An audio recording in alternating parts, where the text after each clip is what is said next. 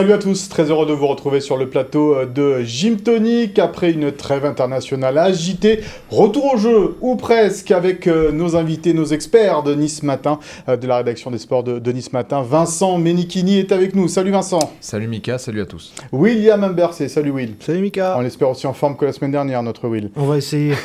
Romain Laronche est avec nous. Salut Romain. Salut Mika.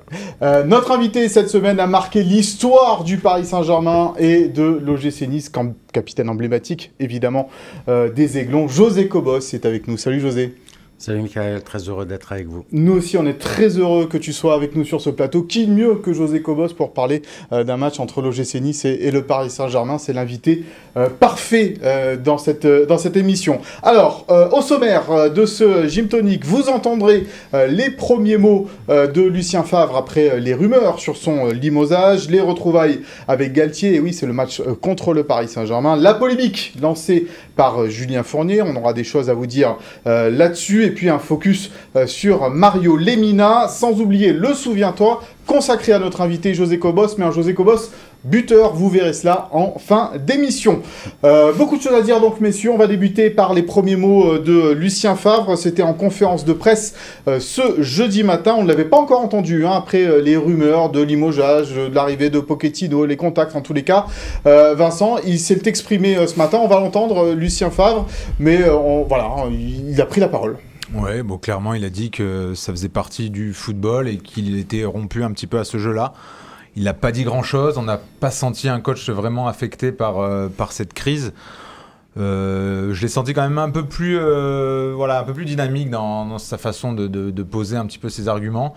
Mais en ce qui concerne voilà, cette, cette crise qui a un petit peu chamboulé la trêve internationale de l'OGC Nice, il n'a absolument rien dit. Il est rompu à ça. Donc, place au jeu. Voilà, on va l'écouter hein, justement, Lucien Favre, pour se faire une petite idée euh, de ce qu'il a déclaré. C'est devant la caméra de Philippe Bertini. Les rumeurs sont les rumeurs, mais très bien, pas de problème. Je connais ça. Oui, on a eu une très très bonne réunion une fois où euh, Dave s'est exprimé. C'était très très bien. Oui, c'était une discussion avec, euh, avec tous les joueurs, tout le staff, etc. C'était très bien, quoi. C'est vrai? C'était convaincant. Je connais le milieu, j'en ai vu d'autres. pas. Voilà.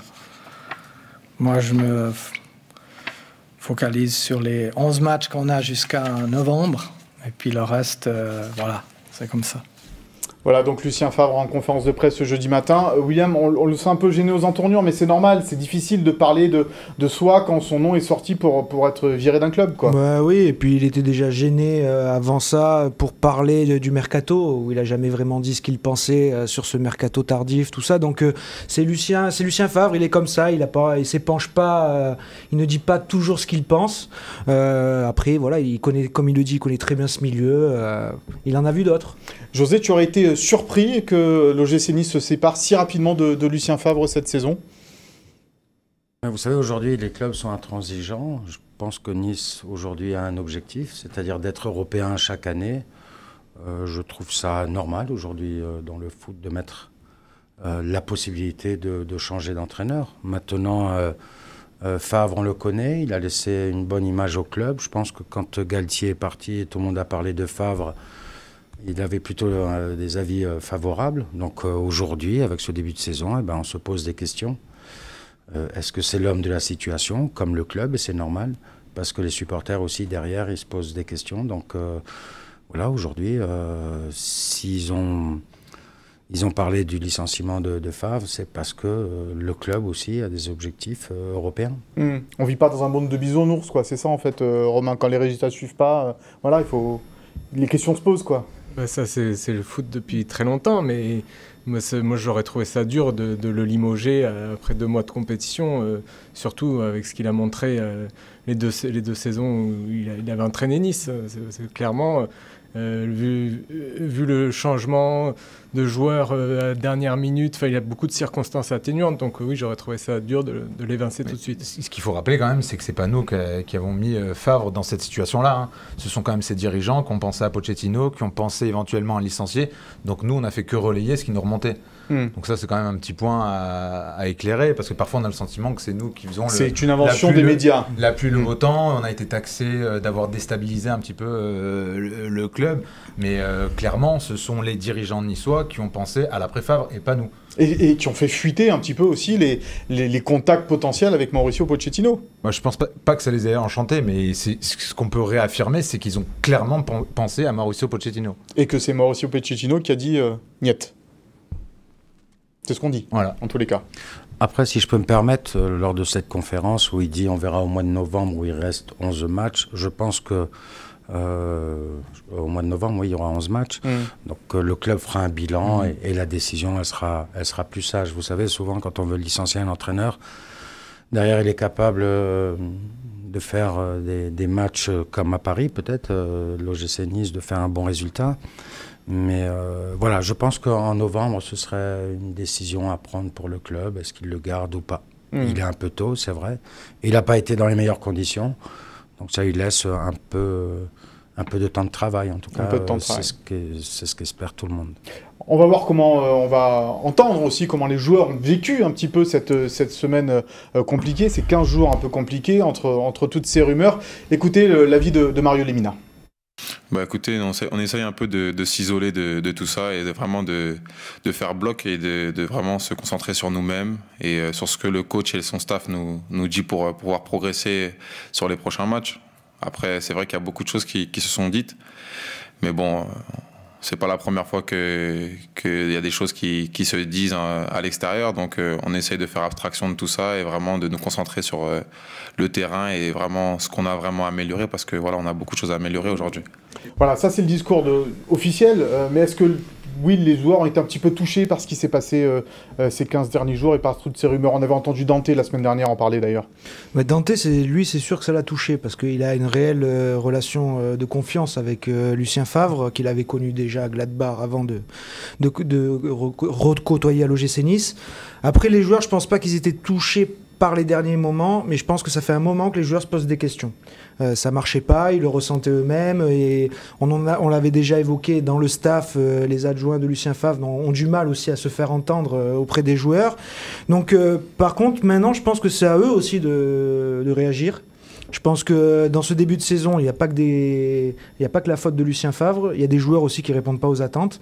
Donc, je pense qu'aujourd'hui, c'est à eux aussi, sur un gros match comme à Paris, de montrer qu'ils sont à fond derrière leur coach et qu'ils ont aussi un peu d'orgueil et qu'ils sont capables de réagir. José, tu as connu cette situation où euh, tu es sous les ordres d'un entraîneur sous la sellette et c'est un- comment réagissent les joueurs dans ces cas-là? Tout d'abord, bah, les joueurs ils ont un peu de chance parce qu'ils sont quand même protégés. On parle plus de l'entraîneur. Parce qu'on dit à C'est ce chaque que fois, disait vaut mieux, d'ailleurs. Ouais. vaut mieux euh, licencier une personne qu'un joueur. Les joueurs ont une part de responsabilité. C'est pas les mêmes que l'année dernière, on est bien d'accord, dans leur comportement sur le terrain. Mais c'est l'entraîneur euh, qui paye les pots cassés. Alors, euh, on va voir. Euh, comme je l'ai dit avant, on va voir au, mois de novembre ce qui va se passer. Mais, mais là, pour l'instant, c'est l'entraîneur qui prend. Oui, je pense pour les joueurs. T'es déjà monté au créneau pour, pour défendre un entraîneur, toi? Euh, Ça, ça t'est arrivé, que ce soit à l'Espagnol, au PSG, à Strasbourg, euh, à Oui. Nice peut-être même? J'ai eu de la chance où à chaque fois on a essayé de jouer le haut du tableau. Non, là je plaisante un peu. Mais euh, à Nice, on s'est retrouvé à plusieurs reprises dans cette situation. Euh, et nous, on était conscients parce que on était des joueurs plus matures, entre, euh, on va dire, entre 27 et, et 38 ans, où on savait qu'on avait notre part de responsabilité. Après, c'est aux joueurs aussi de, faire un peu plus sur le terrain et de montrer que l'entraîneur n'est pas le seul fautif. Et c'est à eux de donner raison à l'entraîneur de, vouloir rester et de croire en, ses joueurs. Donc la réponse maintenant, elle doit venir de- des joueurs. Alors Lucien Favre a eu à sa disposition 14, entre 14 et 16 joueurs hein, pendant cette trêve internationale. On va regarder un petit peu le, le bilan des internationaux euh, euh, niçois pendant cette, euh, cette trêve. Will, tu vas nous commenter euh, tout cela avec bah, le grand gagnant, c'est Youssef Attal qui a marqué un but. Et puis pour les autres, il y a eu du temps de jeu quand même. Voilà, c'est ça qui est intéressant, c'est qu'ils ont tous joué au moins 45 minutes donc pour Brahimi.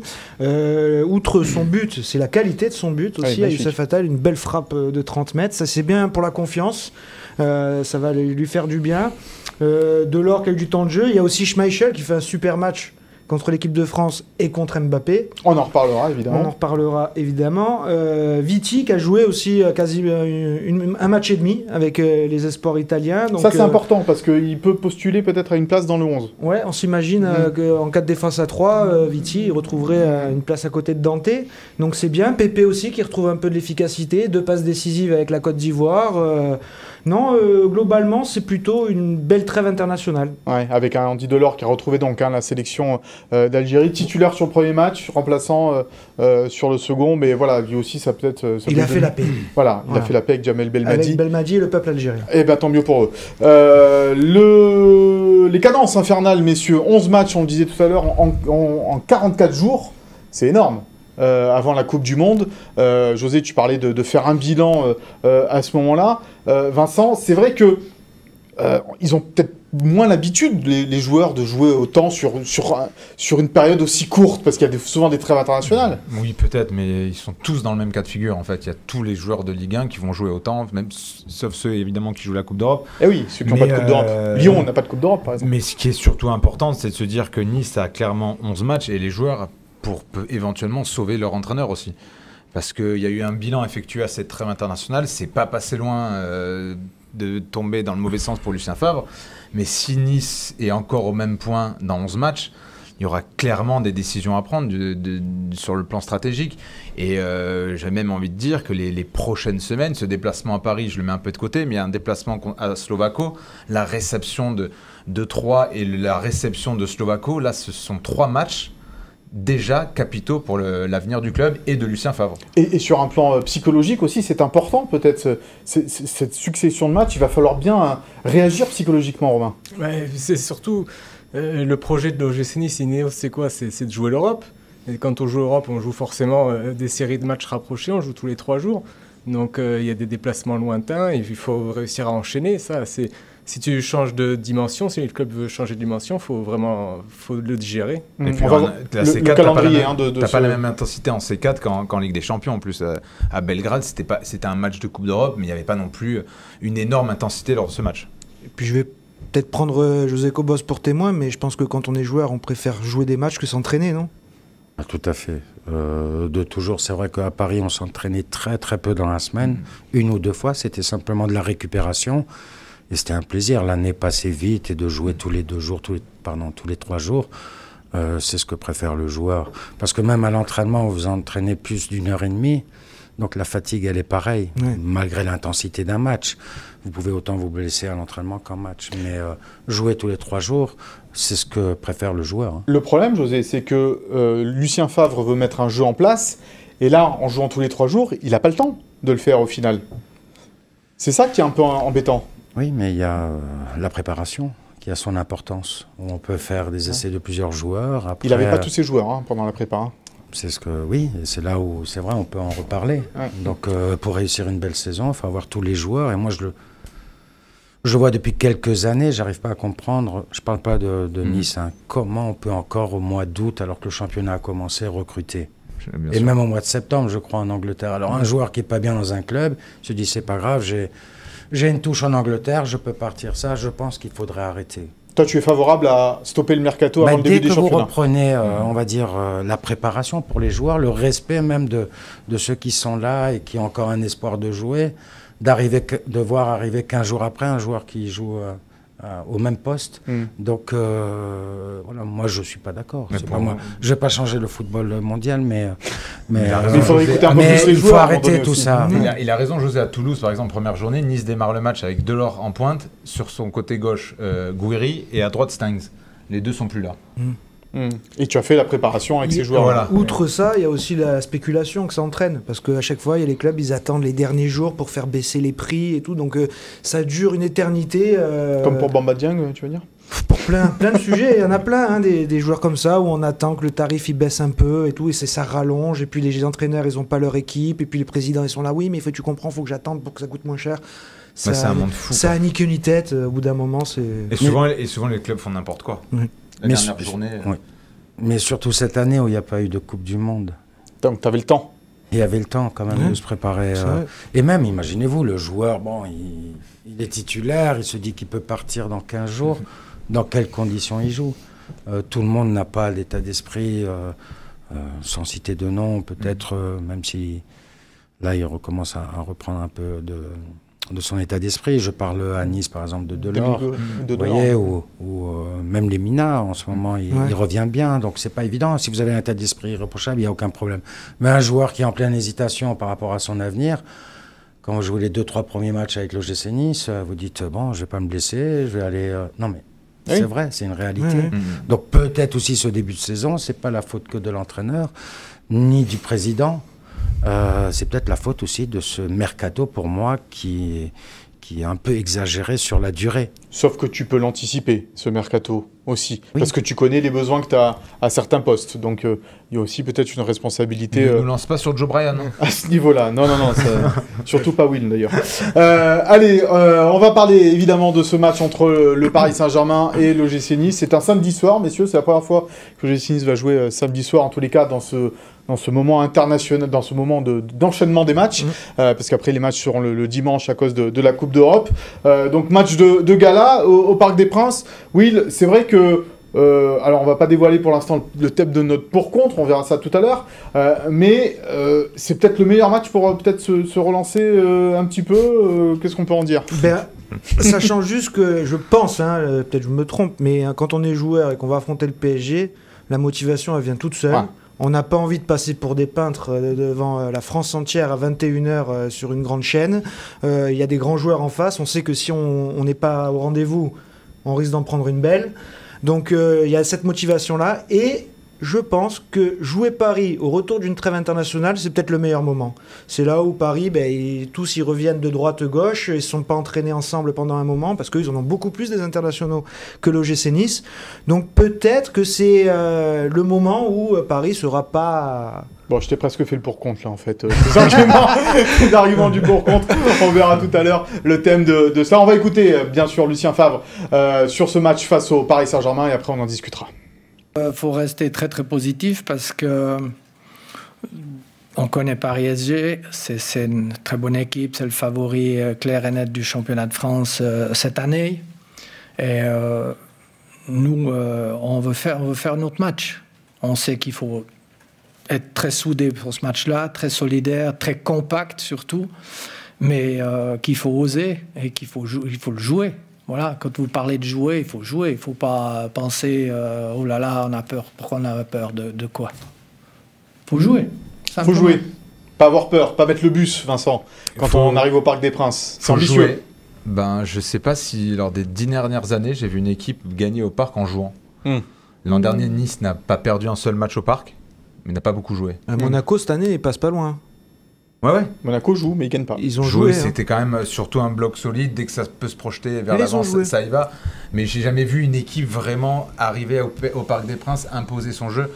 Souvent, tu t'en sors au parc, justement, comme l'a dit Lucien Favre, en étant très soudé, en faisant plus de courses que l'adversaire, en ayant une débauche d'énergie de tous les instants et sur un petit euh, coup de pouce, tu vas marquer peut-être un but sur un corner ou sur un penalty et après souffrir ensemble. Je ne vois pas comment Nice, avec ce que Nice- cette équipe a montré depuis, depuis le début de saison, peut arriver au parc et avoir la prétention d'imposer son jeu. Ouais. Si c'est le cas, ben, je dis chapeau, bravo et euh, on a hâte de voir la suite. José, c'est mission impossible pour le GC Nice à Paris?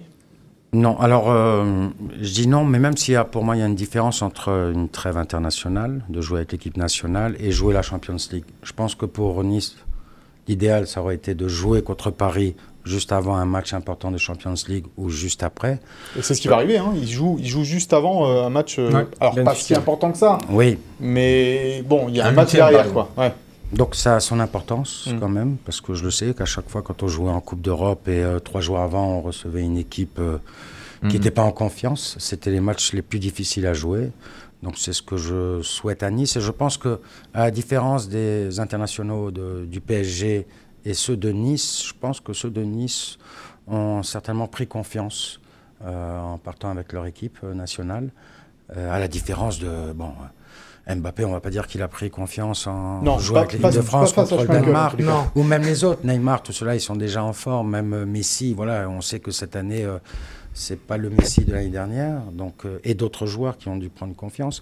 Mais je pense que pour l'OGC Nice, euh, la trêve internationale a certainement fait euh, du bien aux Mhm. joueurs de sortir un peu de ce contexte qui est difficile et arriver au parc. je pense qu'ils sont capables. Et Nice n'a jamais déçu au parc. Hmm.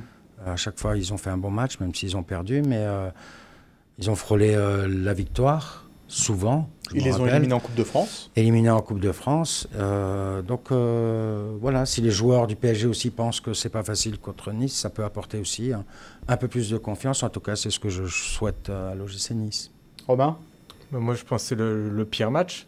pour, pour reprendre après une trêve comme ça. Euh, tu, tu joues sans Todibo, tu joues une équipe qui a fait 11 matchs, euh, 10 victoires, meilleure attaque, meilleure défense du championnat. Alors euh, je veux bien que Messi il était au- aux États-Unis, que Mbappé soit un peu fatigué, mais c'est- la pire équipe à affronter. hein. Et puis surtout, il y a Galtier en face. On se rappelle l'an dernier, quand il est retourné à Lille, deuxième journée, je crois, c'est ça, où il a... Ouais. 4-0. Il leur en a mis 4. Hein. Hmm. Il va pas du tout faire d'état d'âme. S'il peut en mettre 10 euh, samedi au parc, il en mettra 10. Il a qu'une envie, c'est de montrer que le PSG, euh, voilà, c'est une grande équipe et que lui, c'est un grand manager. Donc voilà, c'est vraiment pas une bonne nouvelle pour moi d'aller au parc dans ce moment-là. D'ailleurs, en conférence de presse, Christophe Galtier a, a- a dit hein, que le message qu'il avait fait passer à ses joueurs, c'est d'être plus tueur, de savoir tuer les matchs quand il le faut. C'est- Donc euh, dire ça juste avant d'affronter l'OGC Nice, euh, ça Ah, vaut faut jouer, hein. On va jouer, faut jouer. faut jouer. Euh, parmi les, les joueurs niçois qui font, un- qui, parmi les rares joueurs niçois euh, qui, qui tiennent leur rang dans ce début de saison, il y a quand même Mario Lemina. Euh, messieurs, on va regarder euh, ses stats en Ligue 1 euh, depuis le, le début de, de la saison. Alors, c'est vrai que c'est un joueur, et on l'entendra, Vincent, qui devait partir, Mario Lemina, mais qui, là, eh bien, positionné que ce soit au milieu de terrain ou en défense centrale face à Angers, après 9 secondes de jeu, eh bien, il répond présent.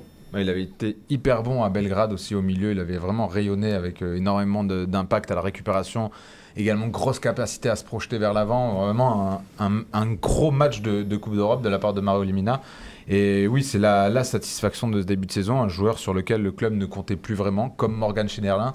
Voilà, faut se rappeler aussi d'où revient Mario Limina. On lui a clairement dit écoute, c'était un gros salaire. Si tu trouves une porte de sortie, merci, au revoir. Il fait une super entrée lors de la première journée à Toulouse, comme le disait José. C'est un mercato voilà, sans dessus-dessous. Et, et au final, il se retrouve avec Dante comme le, le taulier de ce, ce groupe-là et, et le, le meilleur joueur niçois de ce début de saison. Alors on va l'écouter, euh, Mario Lemina, justement à propos de ces rumeurs euh, de euh, transfert lors de cette intersaison. Il était lui aussi en conférence de presse ce jeudi matin.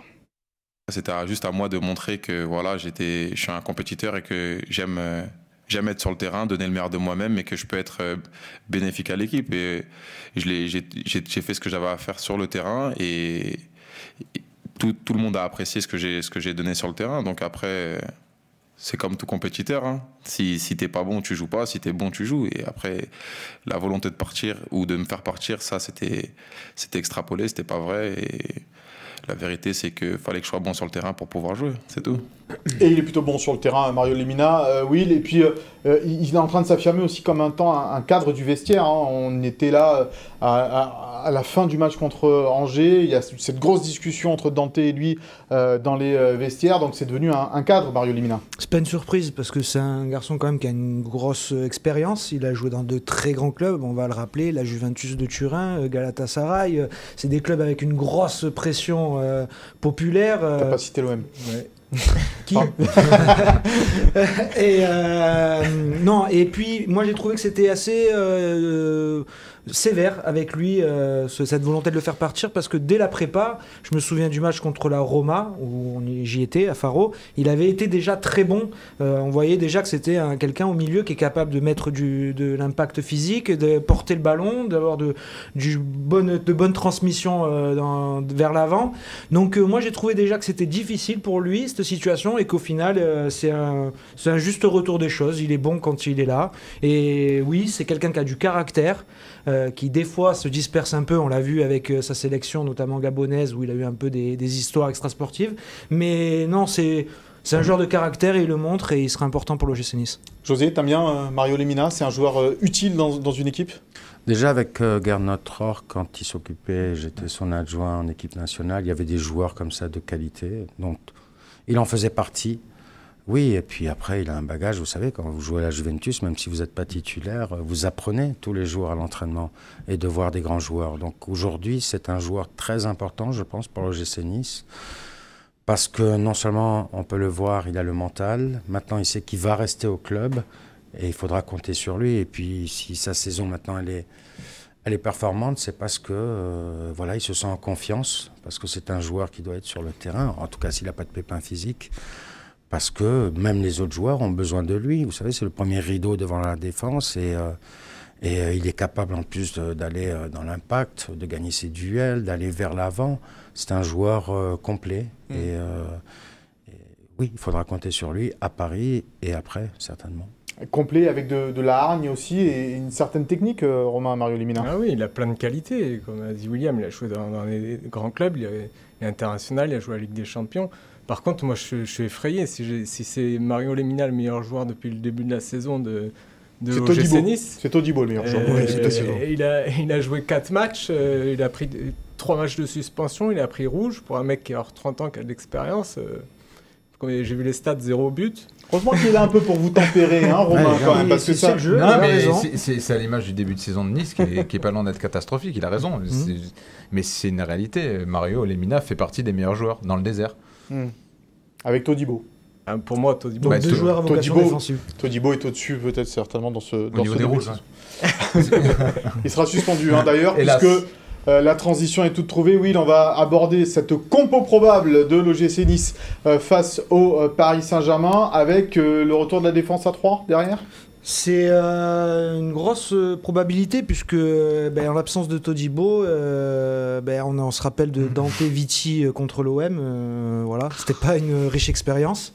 La défense à 4 avec les deux. Donc, puis Dante est bien renforcé quand il est dans une défense à 3 avec deux, deux acolytes à côté de lui. Pour la profondeur, face à Bappé, je pense que ce sera un bon avec argument. Sorensen, il va. Alors, donc, ouais, là, on est en train de découvrir ta compo. Donc, Moi, il me fait tourner de Beck hein, Sorensen, tu le mets titulaire.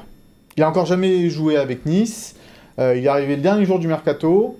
Personne ne sait qui c'est, mais tu le mets titulaire face au Paris Saint-Germain. C'est quoi son poste Défenseur central. Tu l'as pris pour ça. C'est vrai, tu as raison. Alors je sais pas. Euh, après, Lucien Favre a peut-être de meilleures. Euh, j'espère qu'il a de meilleures idées que moi. Il est rapide.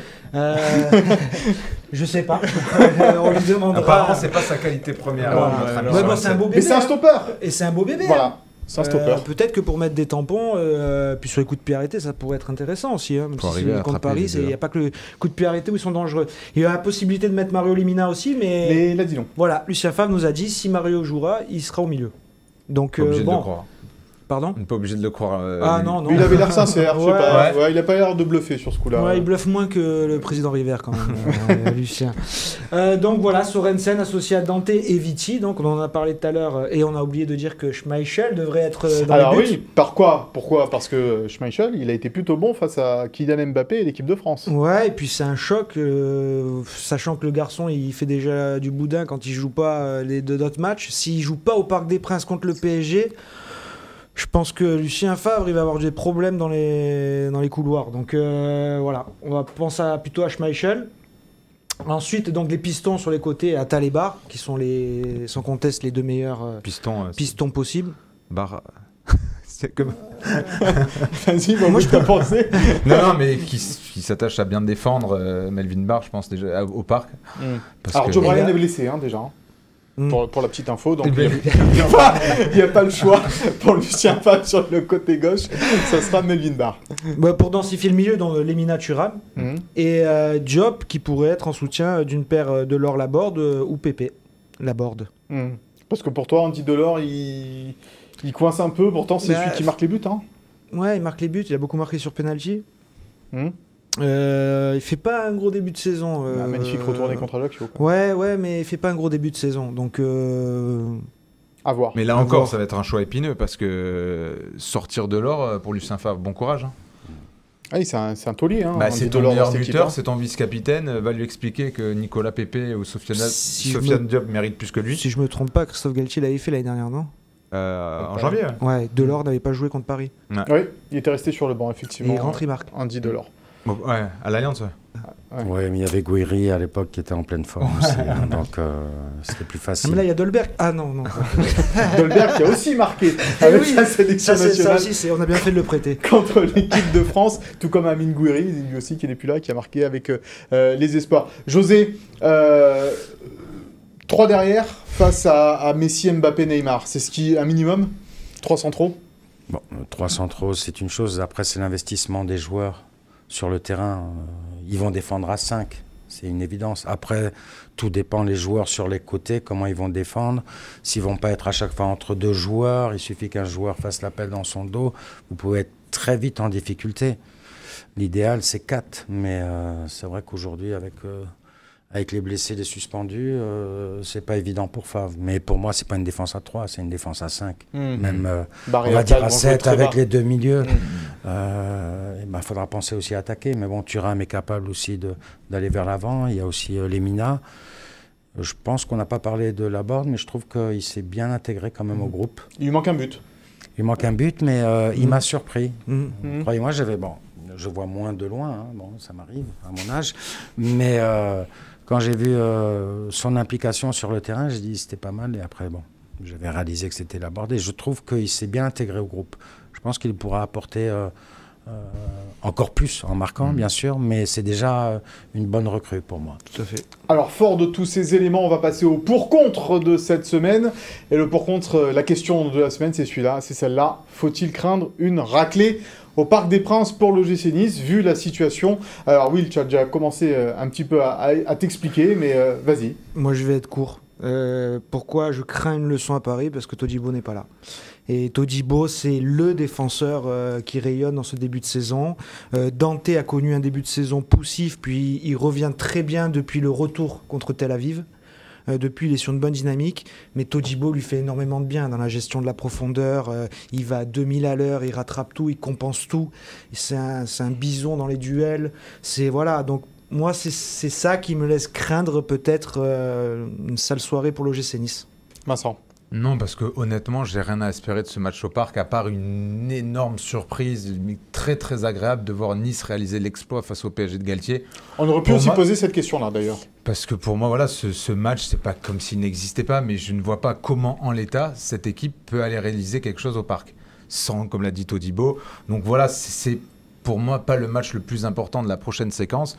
faut plus déjà se concentrer sur la double confrontation contre Slovako, la réception de 3 pour un match déjà capital dans l'optique du maintien, parce qu'on l'oublie parfois, mais cette saison, il y a quatre descentes. Donc pour l'instant, quand même, l'OGC Nice euh, n'a que 8 petits points. Donc il y a un moment, il va falloir gagner aussi contre tes concurrents directs.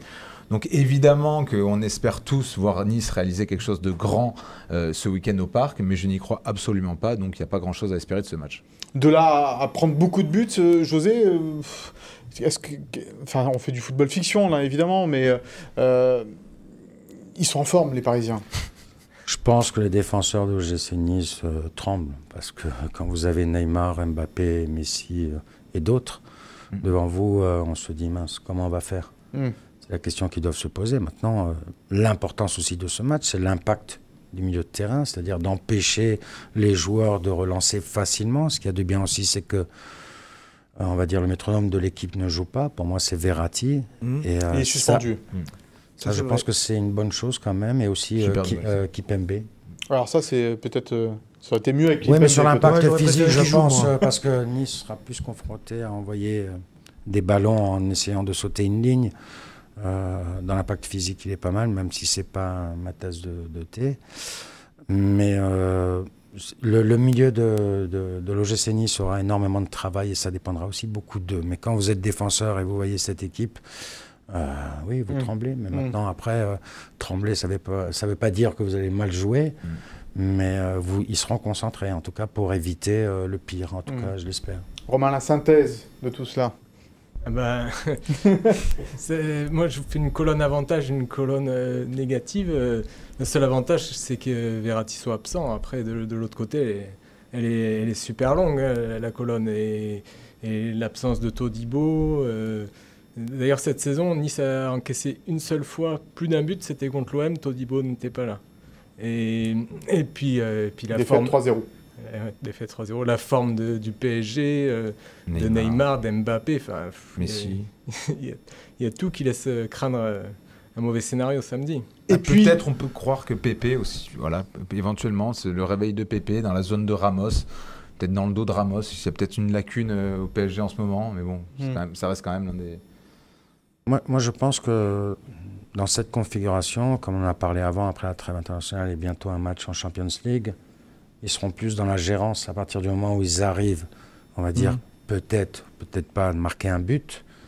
Je pense qu'ils vont contrôler le match mhm. et ils vont éviter quand même de se fatiguer encore plus après la trêve internationale. En tout cas, c'est pour ça, j'espère pas. Bon, après, quand vous me posez à moi la question, euh, la réponse, bien entendu, c'est pas la même parce que bon, c'est le cœur qui parle et euh, j'essaye à chaque fois d'être du côté, bien sûr, de l'OGC Nice, du club, même mm. si vous aussi, vous aimez le club, je le sais. Mais euh, voilà, toujours en faisant attention parce que parce que c'est un club que j'aime et je sais que c'est pas facile tout le temps. Quoi. C'est une saison difficile, un début difficile pour l'OGC Nice. Voilà, il faut l'accepter. Et quand il se déplace à Paris, eh ben, on souhaite tous, euh, bien sûr, qu'il n'y ait pas euh, 3-4 buts de différence. Mm. c'est pour ça ce qui fait peur, c'est quand, quand j'entends jouer, je ne sais pas ce qu'en pense José, mais quand Lucien Favre dit jouer, ne pas avoir peur, jouer. Ça, t'inquiète pas, toi, un petit peu? Jouer, évidemment, mais. Ils sont plus forts. Après, il faut être réaliste. Il faut surtout euh, penser à être solide, non, quand même? Voilà, mais euh, moi, je pense peut-être aussi qu'à l'OGC Nice, cette année, bon, même si Pépé n'a pas joué encore comme un attaquant pur, il manque un joueur très rapide hmm. devant. Dans les moments où vous défendez. Voilà. C'est ce qu'on a vu l'année dernière. Hein, Gouiri, euh, je ne veux pas dire que Nice joué, a, tout le temps bien joué. Il y avait des matchs très difficiles. Il était capable de faire la différence, d'éliminer un ou deux joueurs. Sur la première partie de saison. Oui. Exactement. Oui, oui, on est bien d'accord. Mais euh, voilà, il y avait pluie verte et ça, on ne l'a pas aujourd'hui. Et ça, c'est important quand vous jouez contre une équipe comme euh, Paris euh, ou d'autres, ou Marseille, de faire la différence avec des joueurs très rapides. Alors, ce Paris Saint-Germain-Nice marquera aussi eh les retrouvailles entre Christophe Galtier euh, et son ancienne euh, équipe. Euh, c'était un élément important, Vincent, de, ce match? Quand on connaît Christophe Galtier, tu rappelais tout à l'heure, quand il est allé à Lille avec, le, avec Nice, victoire de Nice 4-0 à Lille, est-ce que tu penses qu'il peut jouer sur cette corde-là auprès de ses joueurs ou quand on est au Paris Saint-Germain, on n'a pas besoin de ça? Non, je pense que Messi, Neymar, Mbappé, ils en ont pas grand-chose à faire que Galtier ait été l'entraîneur de l'OGC la saison dernière. Mais euh, Galtier va le préparer euh, d'une façon très minutieuse pour euh, justement montrer à son ancien club qu'il a basculé dans une nouvelle dimension et s'affirmer comme le grand coach français actuel euh, parce qu'il a envie euh, de, de, clairement de mettre une, une raclée à l'OGC Nice comme il avait fait euh, la saison dernière à Lille alors qu'il avait tissé des liens très forts avec ce club-là avec lequel il avait été champion de France. Mais un mois après il est arrivé et bim 4-0 merci hmm. au revoir on parlera du contexte hein, dans un instant euh, de cette rencontre entre le Paris Saint-Germain et Nice, évidemment avec les déclarations de, Julien Fournier et la réponse de, Christophe Galtier. Euh, et vous nous éclairerez un petit peu sur ce qui se passe et ce qui s'est dit. Hein, tu teases, hein. Un petit peu, ouais. Euh, mais avant cela, Will, Galtier, on le connaît. On l'a vu sous les couleurs de, de, l'OGC Nice, c'est un entraîneur de, de caractère. Vincent nous dit les joueurs n'ont pas besoin de ça pour être motivés. Mais lui, lui, au fond de lui, mm. ça lui plairait bien de mettre une petite douille à l'OGC Nice. Lui, il va leur en parler, c'est sûr. Mm. Alors que les joueurs, euh, ça les touche ou pas, lui, il va leur dire. Moi, ce match, en plus, pour moi, il est important pour ça. C'est mon ancien club. Et parce que ça, c'est mal fini. Voilà. Et l'année dernière, contre Lille, les joueurs l'ont dit après, il avait fait passer le mot aussi il y a un certain monsieur l'État en face euh, avec qui j'ai envie de régler quelques comptes. Si je peux lui mettre une pilule, ça me fera, ça me fera plaisir. Et les joueurs ont répondu présent, il a eu sa pilule, il était content. Et je pense que là, euh, il va glisser un petit mot aussi aux Parisiens. Et, mais après, je suis d'accord avec Vincent. C'est pas pour ça que Messi, Neymar, Mbappé, ils vont jouer à 250%. Hein. Hmm. Mais il va leur glisser le mot. Quel regard tu portes, José, sur les, débuts de, Christophe Galtier en tant qu'entraîneur du, Paris Saint-Germain? Déjà, est-ce que tu as été étonné de le voir arriver euh, entraîneur de, ce club? Ben, Je vais revenir quand même, parce qu'on dit euh, que peut-être euh, il va dire à ses joueurs, ou en tout cas il a envie de gagner contre l'OGC Nice. Il part quand même de l'OGC Nice pour aller au PSG. C'est-à-dire il ne peut pas avoir ce discours avec les joueurs. L'inverse, oui, certainement. Hmm. Ou dans un autre club. Voilà, S'il avait signé à Guingamp, il joue contre... Hmm Contre le club où malheureusement il a dû partir, je pense qu'il aura un autre discours. Mais quand vous êtes à Paris, vous prenez une autre dimension. Mm. Son intérêt, c'est quoi pour moi? C'est qu'il gagne le match.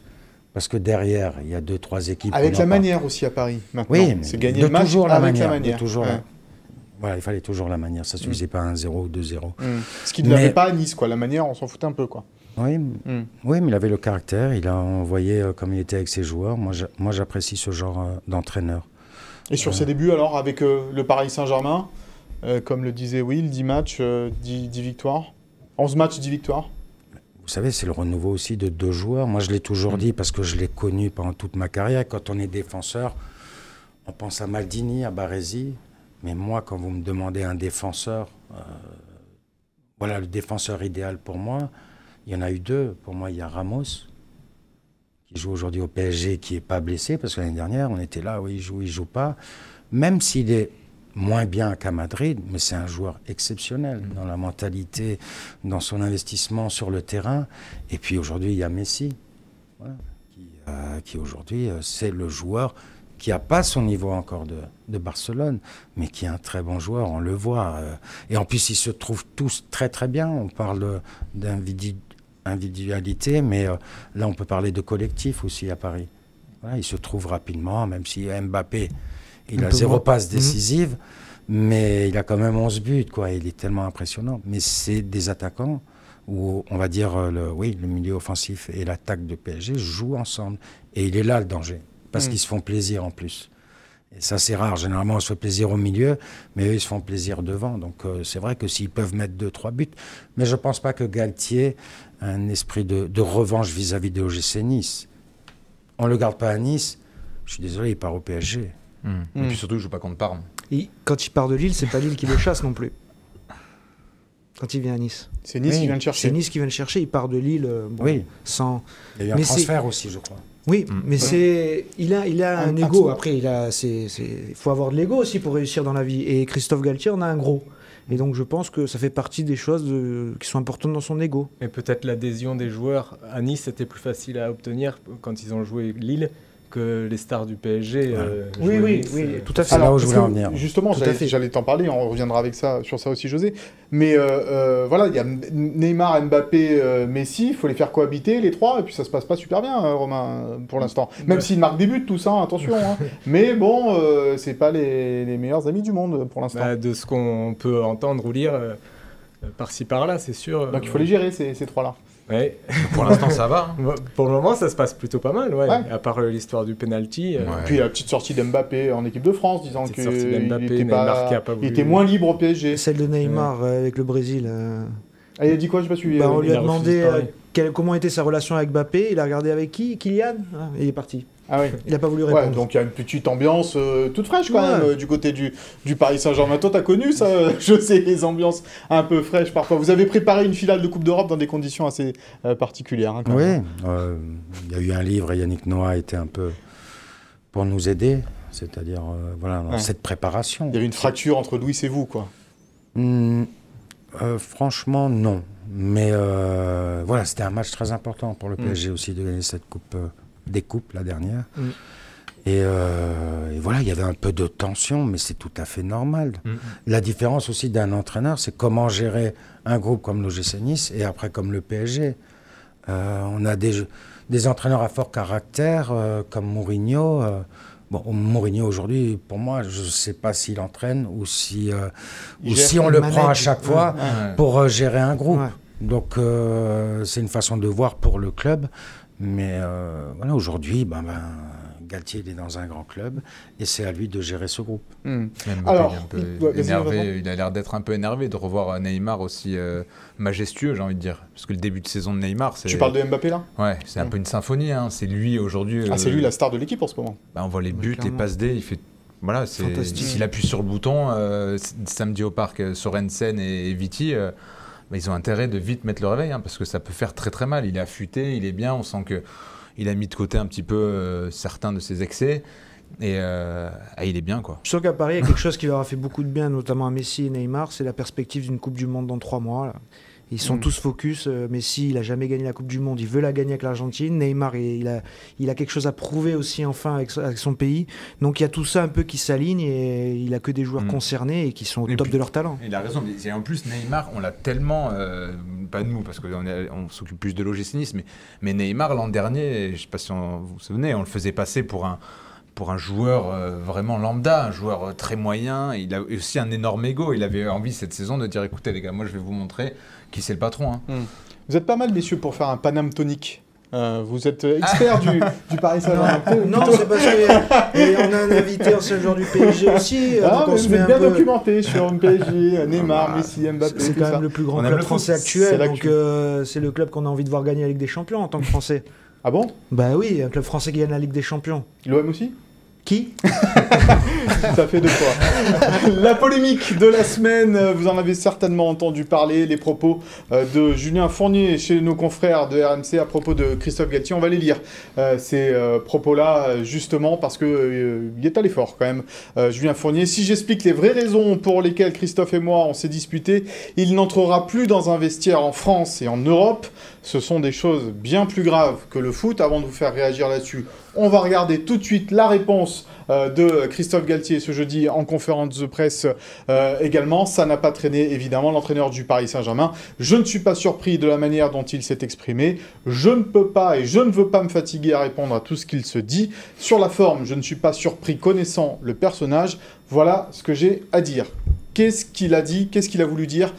Julien Fournier à propos de, Christophe euh, Galtier, Vincent Bah, Déjà, ce qu'on peut dire, c'est que ces deux-là, on va pas les revoir aussitôt sur un terrain de paddle de- du même côté, hein, parce que clairement, là, la, fracture est, profonde.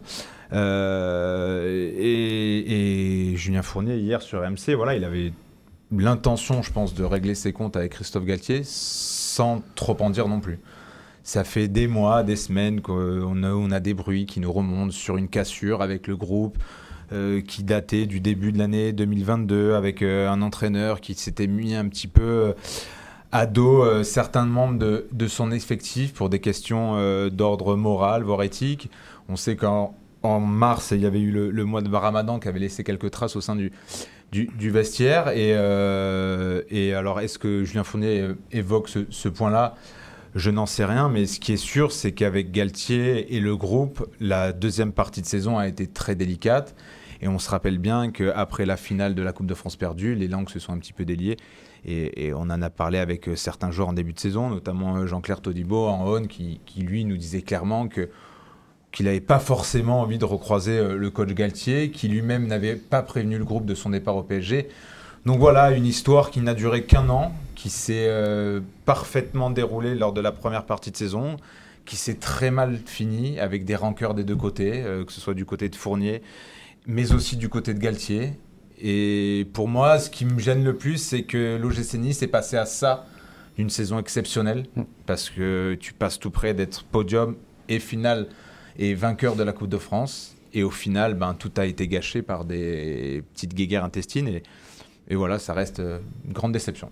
Quel est l'intérêt, euh, Will, de Julien Fournier de dire cela? Parce que soit il dit tout, soit il dit rien. Mais là, il envoie des, des saucisses et puis après, il nous laisse nous débrouiller.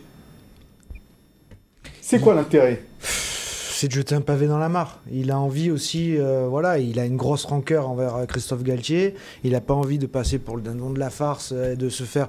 En ce moment, il a médiatiquement, il en prend un peu un des coups, Julien Fournier. Donc, c'est un peu aussi à sa manière de se défendre parce que il met aussi le président River dans le lot hein, avec Christophe Galtier. Il dit, je n'étais pas d'accord avec Christophe et le président. Donc voilà, il, il, a envie un peu de rétablir des vérités sans forcément les dire parce que c'est un mmh. sujet très touchy. Oui, mais enfin bon, il nous laisse dans la difficulté derrière pour analyser ses propos. Donc euh, ben, il, il, lui manque un petit peu, euh, voilà, de. Ben, J'ai envie de dire, c'est notre problème, pas le sien, quoi. Lui, il a balancé mmh. le pavé, et puis si euh, quelqu'un d'autre, ouais. quelqu'un d'autre veut ah, mais... dire ce qu'il pense, euh, il le dira. Mais c'est pas un peu lâche ça, euh, Romain, du coup? Ben, Ce sont des choses bien plus graves que le foot. Bah, c'est une, une, porte. C'est des questions de société. Très ouverte, voilà, ouais. c'est ça.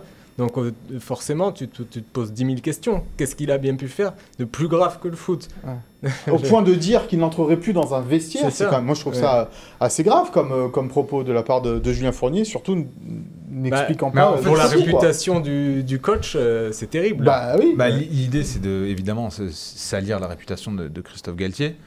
Euh, on se place là de, de manière très factuelle hein, et, et- et- et de, voilà, et de laisser le champ libre à certaines interprétations. Eh oui, mais on peut dire des bêtises derrière. Bah, le- C'est un sujet qui est, comme l'a dit Will, qui est tellement délicat. Aujourd'hui, euh, sans preuve avérée, on peut pas aller sur ce terrain en pointant du doigt tel coach en disant bah, lui, il n'a pas fait jouer un tel parce que si, parce que là. S'il Oui, dit, voilà, c'est pour s'il ça qu'il dit faut faire attention à ce qu'on concrètement- dit. S'il dit concrètement même ce qu'il pense, euh, il est attaqué en diffamation, c'est certain. Mais ce qui est étonnant dans cette histoire, tu dis, il, il se dé- il a été attaqué, il se défend.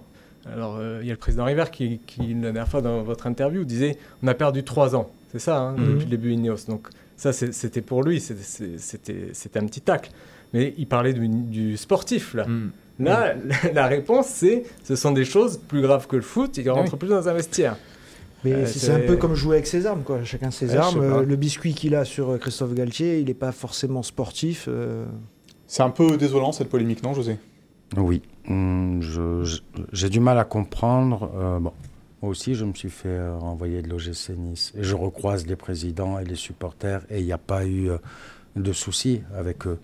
Donc, je pense que quand même Fournier pourrait dire merci à Jean-Pierre River, puisqu'il a travaillé quand même 11 ans avec lui en tant que directeur administratif et pas directeur sportif. Même s'il a trouvé un ou deux bons joueurs, euh, tant mieux, hein, ça, ça fait du bien au Nice. Je parle peut-être de Balotelli, mais un autre aurait pu trouver aussi hein, ces joueurs. Et ils ont bien réussi à Nice aussi. Attention, mais dans- parce que dans l'interview, il, il- il- il- il- il rend quand même hommage euh, à Jean-Pierre River, oui. Mais bien sûr, parce que bon, pendant 11 ans, c'était quand même le pare-feu, c'était Mm. l'idéal pour le président aussi, pour, euh, pour éviter de parler à tous les agents de la planète, pour Bien éviter euh, euh, les parents, je sais pas qui. Donc euh, il a fait son travail. Après, c'était quelqu'un de froid. Euh, je pense qu'il n'avait pas l'empathie de, de- de tout le monde. Il faut, faut le reconnaître. Euh, Quand on lui serrait la main, on dirait qu'on était euh, Il le reconnaissait lui-même, hein, d'ailleurs. hein. Vous Il voyez, l'avait donc dit c'est sur ce dommage. plateau, d'ailleurs. euh, Mm. mais Il disait que Mais c'était je- une mani- être froid, c'est la manière de garder la tête froide. Voilà, donc non, mais après, c'est sa façon de travailler. hein, il a fait du bon travail, je dirais pas ça, mais directeur administratif au départ. Directeur général. début. Ouais. Ouais, directeur général. Ouais. Mais il s'occupe pas du sportif, le directeur En théorie, général. non. Donc euh, Non, voilà, c'est vrai. après, il a pris une place qu'a bien voulu lui laisser euh, euh, Tout à fait. Le Jean-Pierre. président River a ses Il responsabilités là-dessus. Non, mais- parts. non, Il parce qu'il a fait du il bon travail. même fait rentrer dans ses parts à un Oui. moment donné. Oui. Donc euh, il, avait toute la confiance. Donc c'est vrai qu'il pourrait dire merci. Crache dans la Ouais. soupe pour toi, aujourd'hui.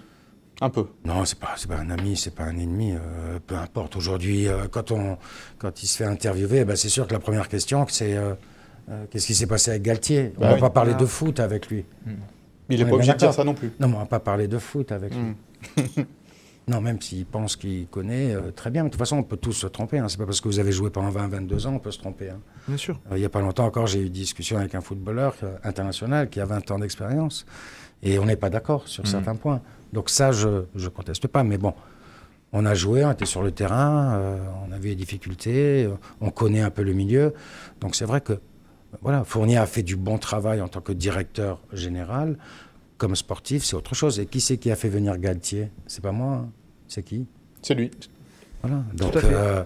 Peut-être, je pense qu'il y a un moment une sorte de tromperie et c'est pour ça qu'il y a cette petite euh, colère, on va dire. qu'ils- Non, mais il faudrait peut-être qu'ils s'arrangent Voilà, entre eux et c'est, puis euh, qu'ils un mariage, qui- c'est un mariage qui pour s'est mal passé. compte, quoi. quoi. Voilà, Non mais- et je Donc, pense qu'aujourd'hui, euh, il y a des aigreurs. euh, Julien Fournier Voilà. a été vexé. euh, il a quand même été Ouais. lui aussi. euh, Mais bon, ça arrive à deux jours d'un match contre le Paris Saint-Germain. Non, mais, euh, mais c'est pas Nice qui est un peu dans la panade. C'est plutôt Christophe Galtier qui est mis sous le feu des projecteurs, qui aujourd'hui a dû répondre à 40 questions sur mais qu'est-ce qu'il veut dire Une seule. Une oui, seule mais d'ailleurs, Galtier, franchement, depuis le début de saison, si on remarque bien, il ne répond à rien là-dessus. Sur, qui- sur son passage à OGC Nice. je Bah veux oui, dire. qui c'est qu'au PSG aujourd'hui? Oui, voilà. il a gagné. Lui, il est sorti Et par le haut, clairement. Lui, et il est Julien sorti par Fournier est à haut. l'Olympiakos. Il a À rebondi. Parme. à Parme. À Parme, pardon. Et il a rebondi. Il avait failli aller à Oui. l'Olympiakos. Et il a rebondi euh, à Parme en, en tant que, que directeur euh, sportif. Voilà ce que l'on pouvait dire donc sur cette euh, polémique. Il y aura peut-être des suites. On en parlera évidemment dans, dans Gym Tonic euh, si c'était euh, le cas. José, capitaine emblématique évidemment de cette équipe de, de l'OGC Nice, tu vas nous, nous expliquer pourquoi, dès le premier match, tu as voulu porter ce, ce brassard de la BSN parce que tu as été le seul capitaine en France à porter l'emblème d'un groupe de supporters. On était deux, je crois, en Europe. J'ai oublié son nom. Malheureusement, je crois que c'était le capitaine de la Lazio de Rome, Ah ouais. international italien. Di Canio, non Non. Non, c'était pas Di Canio. Oui, celui-là, on va pas, pas comparer José à Paolo Di Canio, Non, non, non, c'est un défenseur central aussi. Pas Nesta, mais... Ouais. Bon, bref, Voilà. dans tous les cas, Bon, comment, comment ça t'est venu ce. Comment ça s'est passé? Parce moi, Déjà- je sais qu'il te l'a- tricoté, mais comment, comment ça s'est passé? Non, j'en ai deux. J'ai un blanc et un noir. Le blanc, il est au, au musée national, au Café des Aiglons, au musée national du sport. Donc c'est le réel. Il y a encore. euh, voilà, il est, il, il est euh, sur mon maillot. Euh, c'est euh, bon. Le premier match, quand on remonte en Ligue 1, le premier match, malheureusement, j'étais blessé contre le Havre. Je joue pas. Le deuxième match, parce qu'il y avait deux matchs à domicile. Le deuxième, c'est contre Strasbourg, là où je suis né. Et, euh, à et l'époque, c'était Bruno Valanconi, notre gardien. Il m'appelle, il me dit José, il y a les supporters, ils veulent te donner le brassard. Ben, J'y vais avec grand plaisir, donc je prends le, le brassard de la BSN. Et après, euh, bon, Et je marque porté- contre Strasbourg et je l'ai porté pendant toute ma carrière. Ouais, pendant tes trois saisons euh, à, à, à l'OGC Nice. C'est un geste fort, ça, hein, de la part d'un joueur et, et d'un capitaine, Will. Comme il l'a dit, c'est c'est tellement rare dans le football. Euh, souvent, les, les supporters souffrent un peu de, de certains manques de considération d'un club, euh, parce qu'ils disent les joueurs passent, les présidents passent, mais nous on reste. Et c'est vrai que c'est quand même l'identité d'un club, les supporters. Et quand on voit un capitaine porter l'emblème du groupe de supporters, c'est une réelle fierté. C'est Uno Dinoy, comme on dit. Et c'est vrai que c'était une image, euh, ben, j'en parle, j'en ai encore les frissons, parce que moi à cette époque-là, j'étais euh, dans, la populaire avec Vincent et on était derrière les buts. Et voilà, José avec ce brassard, il était comme nous, il était dans notre groupe, quoi. Mais Mm. nous, on pensait vraiment que c'était notre, euh, notre guide, quoi. Franchement, on était Il y a là. la guerre avec lui, quoi. nous disaient, allez les gars, faut venir défendre avec nous, euh, eux, ils jouaient pas tout le temps, hein, mais, euh, mais ils, savaient mettre le bus, mais avec beaucoup de qualité. Et ça se projetait vite vers l'avant. Et puis voilà, c'était, je sais pas, ça fait partie, voilà, de, de- d'une, comme une Madeleine de Proust pour nous. C'est le Ré, c'est José Cobos avec le brassard. C'est, c'est, c'est 20 ans de, de- c'est 20 ans déjà, donc c'est beaucoup. euh, 20 ans beaucoup- déjà. Et ouais, ouais, Et oui, il y a le film de des 20 ans vieux- Renaissance. on est, Euh, on n'est pas, on n'est pas très vieux, mais c'est voilà, c'est pas rien de- de- d'être à, voilà à côté de José euh, qui, qui a représenté si fièrement ce, ce club.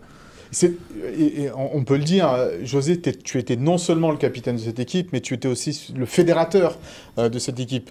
Je me souviens qu'un jour, tu, tu m'avais appelé euh, quand vous aviez repris l'entraînement euh, et qu'il n'y avait personne. Tu avais rameuté tous les journalistes de l'époque en disant voilà, s'il te plaît, viens, fais, le, fais, fais- fais quelque chose pour nous, quoi. Parce que tu sentais que il fallait faire quelque chose pour, pour ce club de l'OGC Nice. Et vous avez fait quelque chose. Donc l'important, c'est pour ça. Euh, bon, aujourd'hui, on parle des problèmes des supporters, mais je peux vous dire qu'à l'époque, et je ne dis pas aujourd'hui euh, sans arrière-pensée, parce que c'est vrai, j'aurais pu laisser mon gamin de 6 ans à la tribune, Mm. il n'y aurait jamais eu de problème. Aujourd'hui, bon, ça a changé, malheureusement. Là. Mais pour moi, la BSN, c'est comme en Espagne, mon enfant, il pouvait, euh, mes enfants, ils pouvaient aller en tribune sans problème. Et cette tribune aussi à Nice, qui était chaude, qui nous encourageait. Et vous, vous avez toujours répondu il y a, il y a, il y a, il y a 20 ans, mais tous les journalistes. C'est pour ça, à chaque fois, je remercie, je remercie les journalistes, les supporters.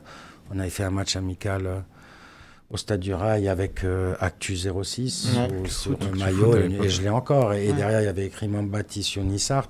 Donc ça, c'est un maillot qui reste chez moi parce que c'est une belle histoire. Et euh, les supporters, ils ont, se sont toujours très très bien comportés. Il n'y a jamais eu de soucis ni de bagarres. Après, vous pouvez rien faire parce que voilà, il y a des supporters qui vous chauffent un peu. Mais il n'y a jamais eu ces soucis qu'il y a aujourd'hui dans le football, euh, malheureusement. Euh, J'étais au match hein, contre Cologne. hein. Euh, Moi, ça m'a fait mal au cœur. Bien sûr, comme à tout, Et, euh, comme à tout le monde. Et c'est bien parce qu'ils ont défendu nos supporters. Ils sont Oui. toujours là pour encourager. Après, le football a changé, ça fait partie aussi de l'évolution du foot. Mais euh, en tout cas, euh, la BSN, elle a toujours été derrière les joueurs. Elle a toujours un- eu un comportement irréprochable. Et je me rappelle deux ou trois fois où on était en préfecture.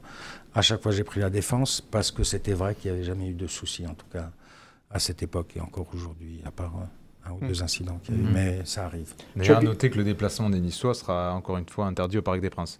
Oui. Et c'est c'est quand même étonnant que ça arrive trois jours plus tôt parce que tu as quand même pas mal de Niçois qui avaient décidé éventuellement de passer le week-end à Paris. Et ça met en péril. Est-ce qu'on euh, ne peut pas le comprendre vu qu'il y avait des Absolument. supporters du Paris Saint-Germain qui étaient là sait- pour. euh, Absolument, mais on sait très bien que les incidents, c'était il y a trois semaines. Donc, qu'il y ait une communication assez rapide, qu'on dise, bon voilà, en raison des incidents Nice-Cologne, il n'y aura pas de déplacement, merci, au revoir. Mais à trois jours d'un match, c'est même peu de Mm. manquer de respect aux gens qui ont prévu de se faire un petit week-end éventuellement à Paris d'aller voir ce match parce qu'aujourd'hui, les places pour aller au Parc des Princes, c'est minimum 160 euros. Et là, pour les visiteurs, c'est 25 euros. Voilà, donc après En- on parle en- de foot populaire, tout ça, donc Mm. voilà, c'est Là, il n'y aura pas de tribune visiteur au. Parc des Princes.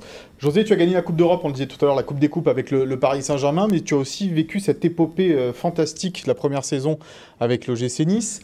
Des deux, tu préfères quel moment? C'est ce que je dis, c'est l'histoire. Elle, elle est belle parce qu'ici, eh ben, j'étais plus à la fin de ma carrière.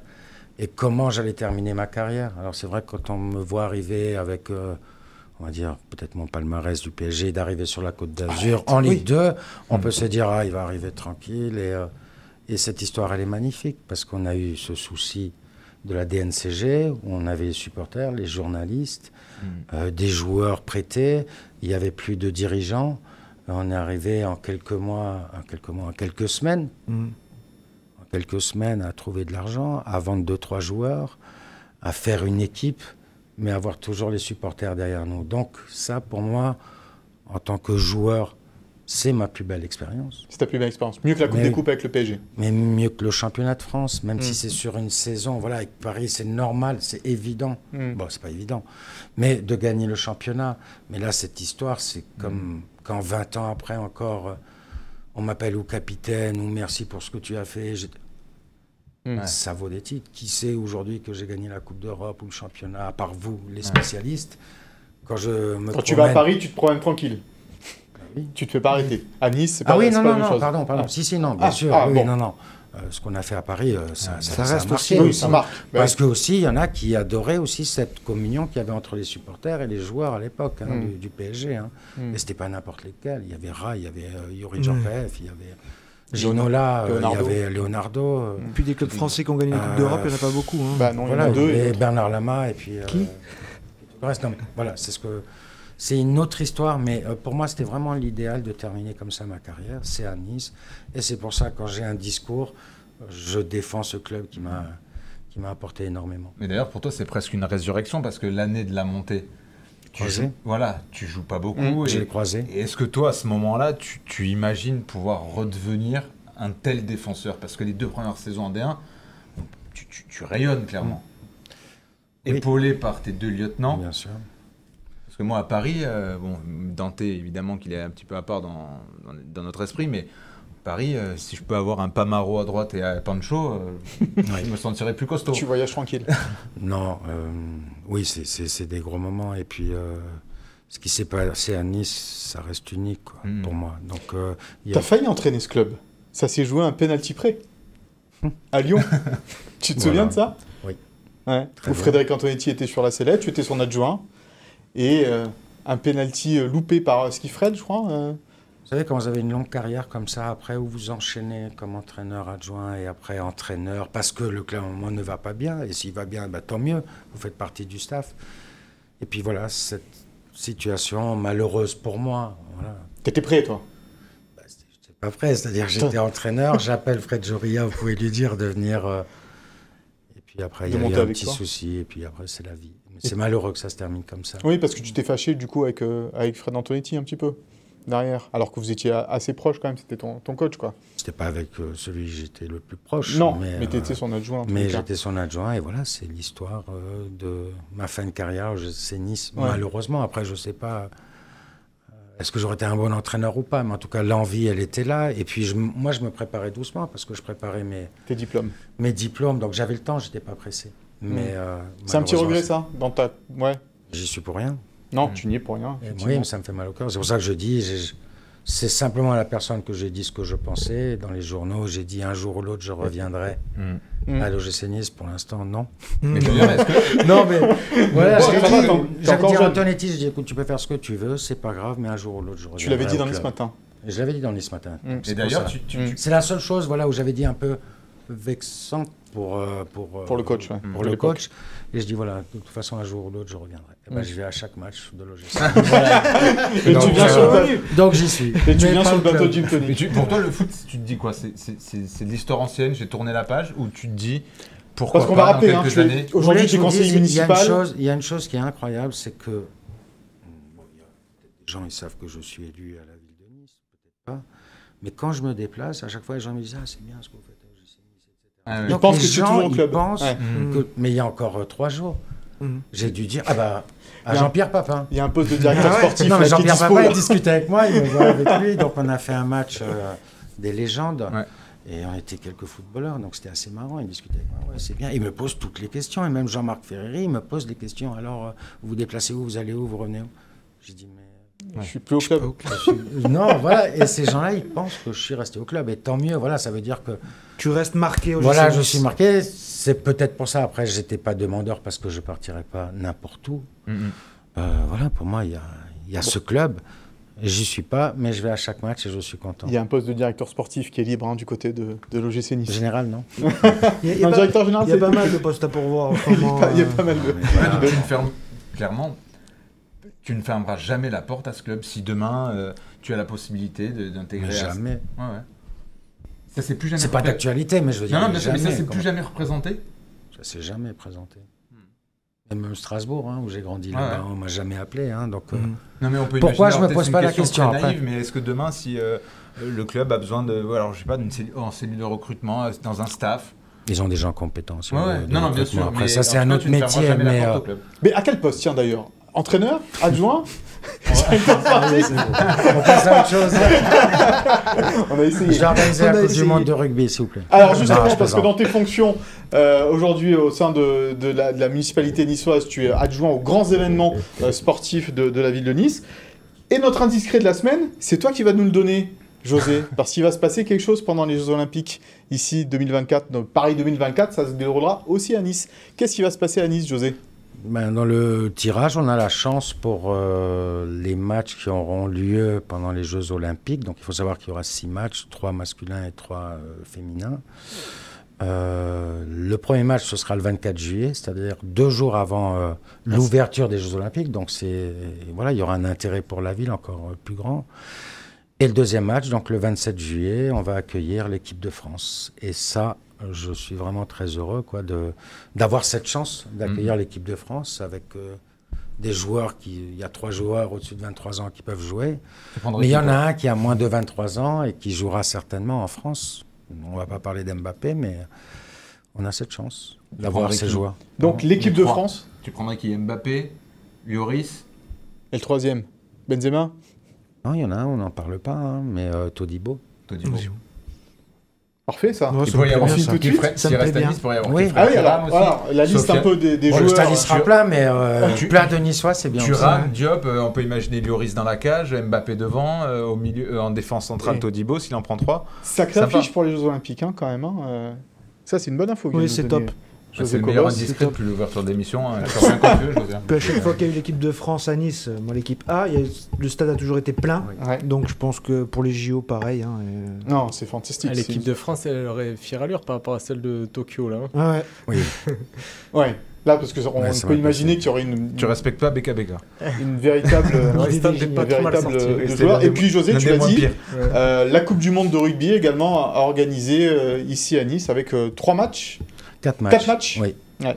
Quatre matchs, c'est un Tout est réel complet, succès. déjà. Mais vous savez, à Nice aussi, hein, moi, de temps en temps, quand je vais voir le stade niçois, euh, voilà, il y a une belle période pour le rugby et ça va tout à fait avec la mentalité, je veux dire, du niçois, euh, du peuple niçois, à être là derrière son équipe. Et c'est vrai que le football aujourd'hui, c'est c'est peut-être ce qu'on représentait il y a 20 ans, quoi. Mm, tout à Les guerriers sur le terrain. C'est ça. Et, euh, et moi, je prends beaucoup de plaisir à, voir le stade niçois ou à voir les matchs de rugby, bien entendu, parce que c'est des valeurs importantes. On le voit sur le terrain. Et, euh, euh, ces matchs, déjà, il y en a deux pratiquement à guichet fermé. Un depuis, depuis un an pour cette Coupe du Monde de rugby. C'est Angleterre-Japon. Donc, quand j'avais fait le tour de toutes les villes ou avec les préfectures, tout le monde était étonné qu'à Nice, déjà, ces matchs, Japon. au niveau euh, pourcentage, on était la ville qui avait vendu le plus de billets. Alors c'est vrai qu'on a un stade un plus, pe- plus Plus petit, petit. mais euh, Angleterre-Japon, c'est complet depuis, euh, depuis un an. Belle Donc euh, voilà, il y aura de belles nations et, et c'est bien aussi d'amener d'autres sports. Mm. voilà, Sans aussi. parler du Tour de France, euh, du départ du Tour de. France. Aussi euh, au mois de juin, ce sera 2024 ce serait l'arrivée. L'arrivée, pardon, oui, pardon. Oui, le départ, c'était euh, il y a quelques années, Oui. euh, Romain. hein, c'est ça, l'arrivée du Tour de France à Nice, Bah, euh, juste avant les Jeux. Ça, c'est toujours pas officialisé, mais Mm. Ouais. vu, vu la concomitance Mais des ça peut être le deuxième Olympiques. indiscret, José. Voilà. Il reviendra pour Ça- l'officialiser. Ça, je ne vais pas vous le dire, tout le monde en parle, et tant mieux, mais c'est vrai qu'on est une ville qui a, qui a toutes ses chances d'accueillir, et ça, c'est la première fois, encore une fois à Nice. Ouais. Donc, euh, Et c'est une du boulot. chance. Ouais. Oui, non, mais bon, il y a- y une du coup, équipe peut-être pour le GC. Nice, c'est peut-être pas dispo Pas euh, encore. pour le, pour le. Toujours, toujours. Après 2024. Pour le GC Nice. Allez, on va vous faire gagner deux places pour la rencontre entre euh, Nice et euh, Troyes. Ça sera la semaine prochaine.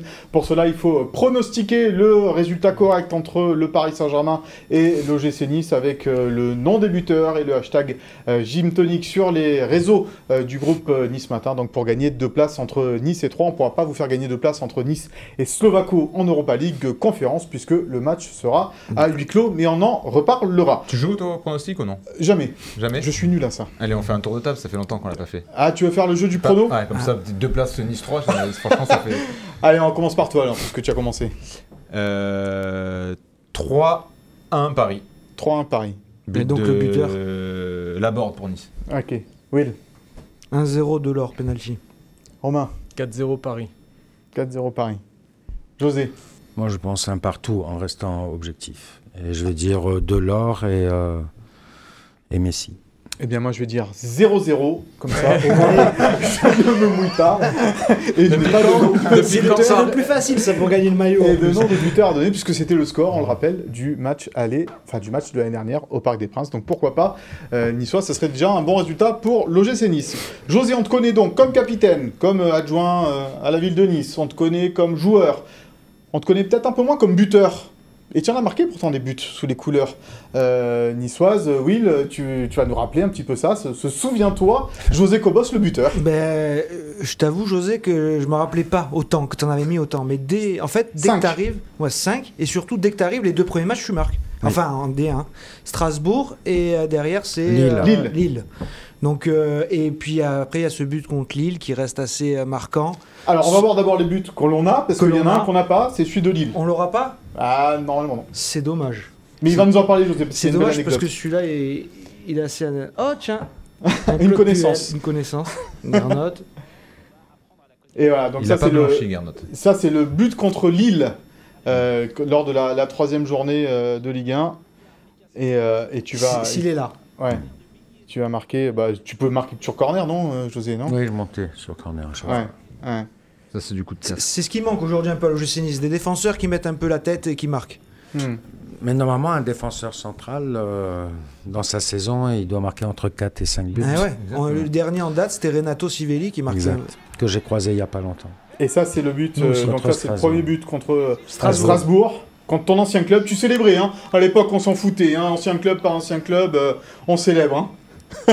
on avait moins d'état d'âme Oui, non, ça va, sobre quand même. hein. Il Oui, eu, sobre. euh, devant la BSN. Mais c'était important pour moi, le brassard, vous voyez, il est encore Ouais. tout blanc, donc Ouais. euh, Ouais. très propre, je venais de le porter, mais voilà, de marquer euh, ben, un défenseur, ça fait toujours plaisir, Mm. ancien club ou pas. Après, il y a une façon de célébrer, et voilà, le respect, il y est, il n'y a aucun souci. Et il y a ce but contre Lille, donc à domicile, au stade du Rail. Et là, tu vas nous expliquer, parce que c'est en toute fin de match. Raconte-nous un petit peu ce, ce but.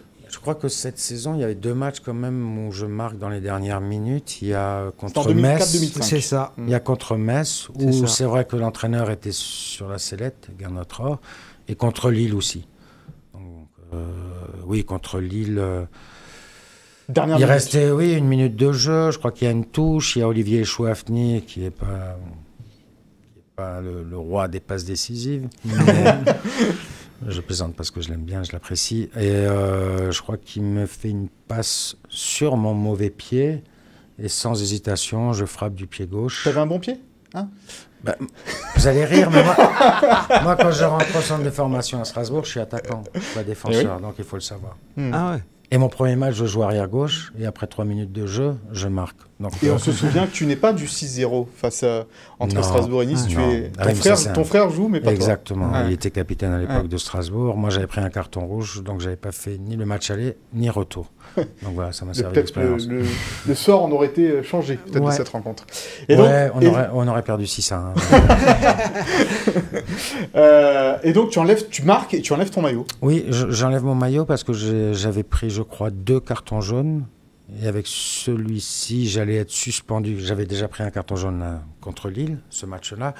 Et euh, normalement, quand vous prenez trois cartons jaunes, vous n'êtes pas suspendu le match d'après, mais, le euh, suivant. mais le suivant par Ouais, rapport mais toi, tu voulais être suspendu le match d'après. Voilà, comme c'était à 93e et c'était plié parce que j'avais marqué dans les dernières secondes, j'enlève le maillot, donc je prends le carton jaune, Le deuxième, deuxième. carton jaune, carton rouge, et j'étais suspendu pour le match à l'extérieur et pas à domicile. Voilà. Ah oui, c'était un vrai calcul au final. Oui. Ah ouais. j'ai- Mais j'ai- je le dévoile aujourd'hui. Hein. Ah oui, je, ah, je connaissais On devait jouer à Sochaux. Après, bon, ça va, je suis né à Strasbourg. Il faisait très très froid. J'avais pas jou- J'avais pas joué le match après contre Sochaux où on avait fait 0-0. Ah voilà, on connaît les coulisses aujourd'hui de ce carton rouge. Voilà. Finalement, il Donc, était calculé. nous, à l'époque, on était une équipe pour se maintenir. fallait gagner à domicile. Ah ouais. Et donc, c'est vrai que c'était plus. Il valait mieux que tu sois là sur le match euh, à domicile. Voilà donc l'histoire du maillot enlevé euh, par José Cobos lors de ce match et ce but contre Lille saison 2004-2005. Et José, puis, merci euh, beaucoup. Je vais Ouais. juste terminer parce que dans les loges, et je remercie encore le club qui m'a fait honneur, c'est-à-dire donc quand je marque ce but et j'enlève le maillot, C'est la photo. c'est la photo qu'il y a quand on traverse. euh, Ah ouais, mais elle est restée mythique. voilà. Donc euh, voilà. Hmm. Merci beaucoup José d'avoir été avec nous sur le plateau de, de Gym Tonic. Merci euh, messieurs. Bon match à Paris, euh, Will euh, et Vincent. Bon après-match aussi, parce que quand on monte à la capitale, c'est toujours sympa. Ah bon? Ouais, ouais, non. Je sais au pas, courant.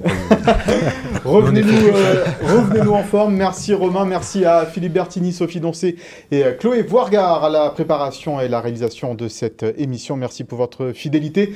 Bonne semaine à toutes et à tous et on se retrouve la semaine prochaine. Bye bye.